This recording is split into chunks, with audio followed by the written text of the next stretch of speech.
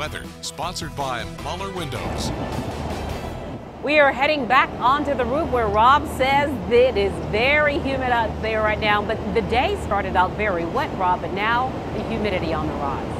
Yeah, Carolyn, a lot different picture now behind us than when we started this day, this Monday, when we had all the rain and the clouds. And now we see plenty of sunshine. But yes, temperatures in the mid 80s today, humidity levels in the upper 70s when you look at the dew point, and that's what we normally see during the summertime. Well, we'll talk about the weather in a moment, but we did a lot of talking about the weather today up at uh, Eugene Sires Elementary School. We showed you the fourth graders last half hour. These are the second graders, and there are the wonderful second grade teachers. So thanks to Sires Elementary School. Uh, went up there last year, my second year up there. Have a gorgeous media center, gorgeous school. And media center, we were able to look out the window behind us and see the storms moving on through. So we could show the weather while we were talking about the weather. So Sires Elementary School, as always, thank you very much for letting me come on by and talking about the weather. Well, let's see what's going on as we take a look at the weather. There's a live look at our